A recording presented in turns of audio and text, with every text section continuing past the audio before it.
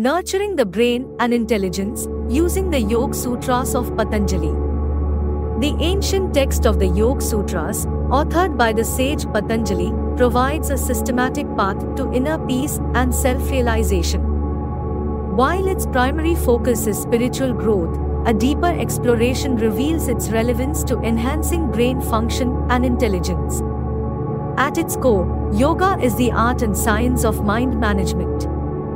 The sutras recognize that the mind and brain, though distinct, are intrinsically connected. A calm and controlled mind results in a healthy brain, paving the way for heightened cognitive abilities. By mastering the mind through yoga, one can indirectly nurture the brain, enhancing its capacity for intelligence, creativity, and discernment. Let us discuss Dharna, Dhyan, and Pranayam, the three pillars.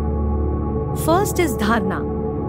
In the sutras, the practice of dharna, or concentration, is similar to the modern understanding of focused attention.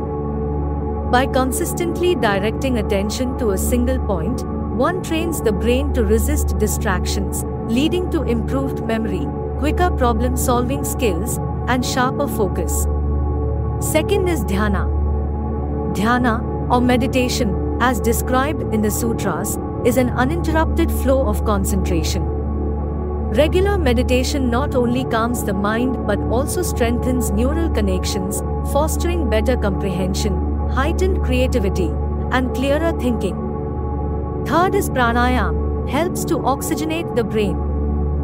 Breath control, or pranayam, holds a significant place in the Yoga Sutras. Controlled breathing techniques increase oxygen supply to the brain, improving cognitive function, enhancing memory, and boosting overall brain health.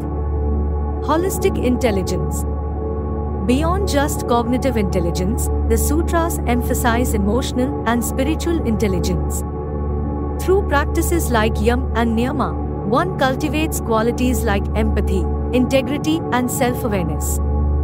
To conclude, while the Yoga Sutras of Patanjali may be thousands of years old, their insights into the mind, brain, and intelligence are timeless. As modern neuroscience begins to catch up, it becomes evident that these ancient teachings offer a holistic approach to harnessing the full potential of our minds, ultimately leading to a smarter, wiser, and more enlightened self.